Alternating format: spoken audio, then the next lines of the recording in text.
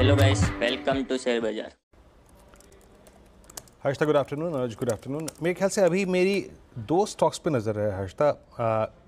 Within banking large cap एक मैं axis bank को लेके आऊँगा, बारह सौ छप्पन पैंतीस पर ट्रेड करता हुआ डे हाई का क्लस्टर और स्पेशली मैं अगर बहुत शॉर्ट टर्म और आई थिंक 15 मिनट चार्ट्स पे 30 मिनट चार्ट्स पे देखूँ तो मेरे को लगता है ये आई थिंक निफ्टी बैंक को एक पुश पॉसिबली प्रोवाइड कर सकता है।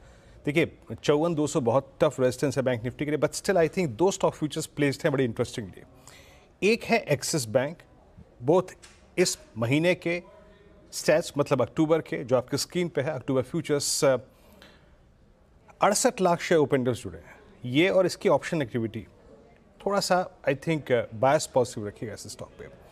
दूसरा है आईसीआईसी बैंक आईसीआईसी बैंक भी 1325 पे आज सुबह से टर्बुलेंस थी बट अभी भी डे हाई की ट्रिजेक्ट्री मार्केट ट्रेड करता हुआ। ये दो स्टॉक्स मेरे ख्याल से पॉसिबली निफ्टी बैंक को एक पुश दे सकते हैं। मैं निफ्टी बैंक पे बैठ नहीं ले रहा हूँ। मैं इन दोनों स्टॉक्स पे बैट कर रहा हूँ। आई बैंक और एक एक्सिस बैंक। और एक तीसरा स्टॉक जिस पर मेंशन करना चाहूँगा that's M N M finance screen पे लेके आइएगा, डेढ़ परसेंट ऊपर है, तीन सौ तैंतीस पचपन का स्तर यहाँ पे है।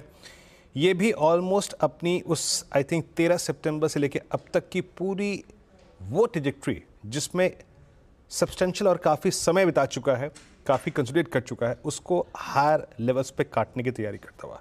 मेरे जहन में रहेगा एक्सिस बैंक आईसीसी बैंक और M N M financials Harshta तो ये in fact clearly B F S I side पर ही नज़रें और N B F C banks मिलाकर वीरों ने कहा इन पर नज़रें होनी चाहिए। कुछ और काउंटर्स आपकी स्क्रीन पर लेकर आएँगे।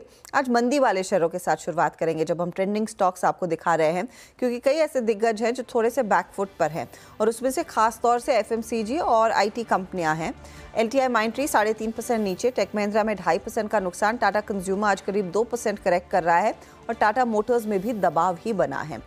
इसके अलावा डाबर आप देखिएगा साढ़े चार परसेंट नीचे ओएफएसएस में गिरावट आई दूसरा सत्र जहाँ पर नुकसान देखा जा रहा है और एलआईसी हाउसिंग फाइनेंस में भी कुछ कुछ करेक्शन ही देखने को मिला है।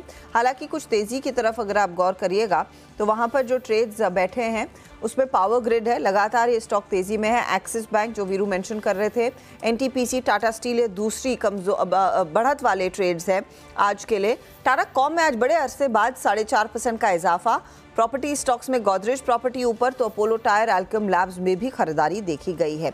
ये है आपके लिए इस समय बाज़ार का ताज़ा हाल स्टॉक्स की जुबानी। अब देख लेते हैं इस समय ट्रेड